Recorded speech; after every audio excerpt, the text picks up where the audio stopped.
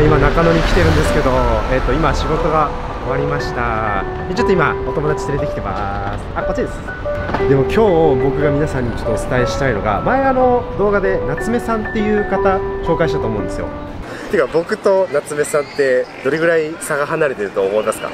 近くで見ないと分かんないかもしれない。あ近くで見ないと分かんないですか？いや近近づけなくていいです。いや 肌がすごい綺麗なんですよ23ですって言われてもあそうかみたいな。まあ人によっては多分あると思いますよ。ああさすがなんですけど夏目さんはおいくつですか？えーとあと数ヶ月ではい。41です、じゃあ今40歳ですか？40です。40過ぎててでも30手前でしか見えないっていう人がいるんですけど今回はさらにそれを超えるですね 人が現れましたんでびっくりすると思うんでちょっとそれを皆さんにお届けしたいと思います。あちなみに映っちゃダメな人います？あ本当自自然でいいですよ。自然でいいんですよ。はい。えっとすみませんすみませんおいおいくつですか？25です。25で。おいくつですかね？25です。25ですよね。はい。ね25ですか？はい、25です。えっ、25ですよね。はい。えで僕も25です。テイク2おいくつですか？と、37ですかね。37ですよね見えないですよね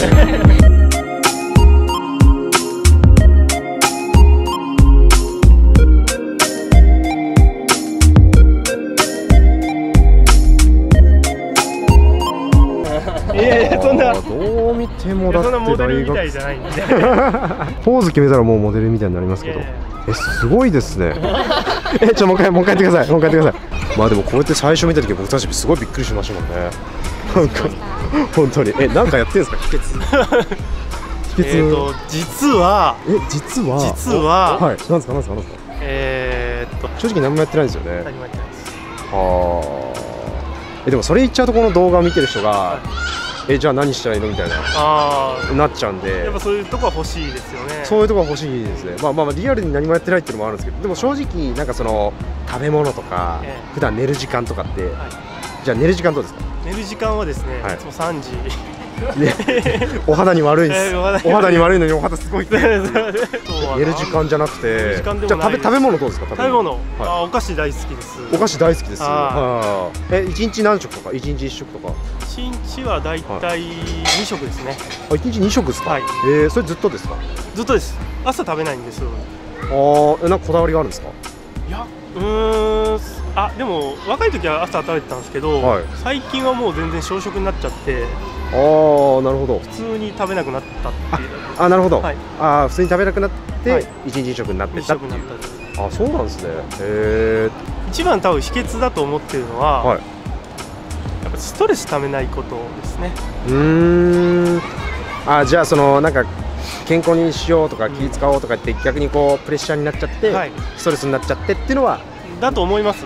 ああ、うんなるほど。あの結局なんか人間ってどんどんストレス溜まってくると、はいこうなんかなんですか眉間にしわが寄ってくるというかちょっとなんか嫌だなーってはい。なってくるんですよね。ああはいでそういうのが僕はうん。昔からそんなにストレスなかったんですへえストレスなかったっていうか、あの結構ストレスになることってすぐ忘れるタイプなんですよ。ああなるほど。ポジティブシンキングとはまた違うまた違感じですね。うそう嫌なことはすぐ忘れちゃうって感じあいい性格ですね。なんかシャワーとともに流すみたいな。はいはいはい。あとなんか運動してたりします？運動は全くしないです。全くしないですか？はてか大嫌いですね。あそうなんです。えじゃあ例えばその若々しく見せるために例えばファッションに気使ったりとかそういうのがあります？ファッションも、まあ、特に今こんな感じですしはい。はい。まあおしゃれしたいですけど、うん。あのファッションセンスゼロなんで。おしゃれですよね。うん。これはもうあのネットで通販で普通に買ったやつ。です自分ははい。ちょっとひげ剃り負けがすごく悩みなんですけど。なんかどうですか？カミソリ負けとか。確かに全然ひげ生やしてないです。ああーでもこれは今まあ僕も剃ってますけど、まあ入ってくるっちゃ入ってきてますよ。あでも伸びるスピードが多分皆さんより普通の男性一般男性よりはいちょっと遅いぐらいだと思ってますね。大体夜中僕3時ぐらいにまあお風呂入るんですけど、はい。でもそこで剃って1日と半日ぐらいは持つんですよ。はいはいはいはい。1.5日。そうそう1.5日ぐらいは持って、はい。ようやくこうポツポツ生えてくるかなって感じ。あそうなんですね。え昔からなんですか？昔からですね。へあんまり濃くはないですね。えなるほどえでもまあこういった話をしてみて、まあ、ちょっと感じたのがやっぱり何にもやってないですよね。何にもやってないです何にもやってないですね。はい何もやってないんですけどストレスためないっていう。ストレスをためないっていうのが多分うん。ポイントじゃないかなって僕は思ってます。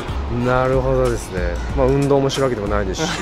えでも別にそんなお腹出てるわけじゃないじゃない。まあそうです。多分食べ食べないからと思う。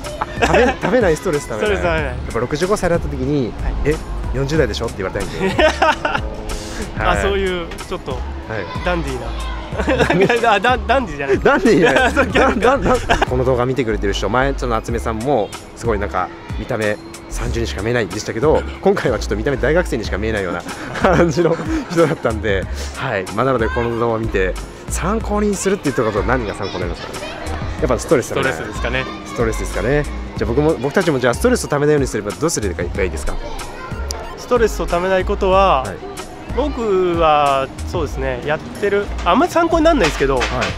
まあカレー食べるの好きなんですよ。はい。でカレーってあのよくインド人がはい。カレーよく食べるじゃないですか、はい。カプサイシンかなんか知らないですけど、はい。結構あのストレスをためない人多いんですよ。それはなんでかっていうと、はい。カレーを結構食べるからだから嫌なことすぐ忘れちゃうっていう。カレーでですか？はいじゃあカレー食べに行きましょう。カレー食べに行きましょう。早速。嫌はないことがあったら、はい。カレーを食べるっていう。嫌なことがあったらカレーを食べるっていう。そしたら忘れやすいじゃあえ今日嫌なことありました？今日。嫌なことありました？今日は今日はない。危ない。はい。じゃあレッツ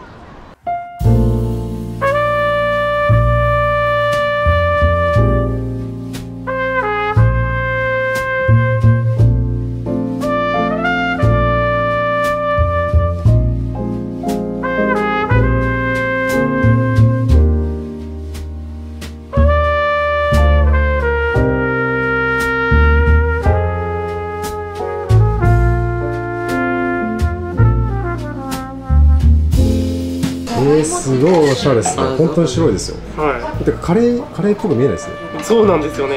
カレーの概念が分かふわふわふわですね。ます。え？ふわふわ。まずこの上。そうなんなんでしょう？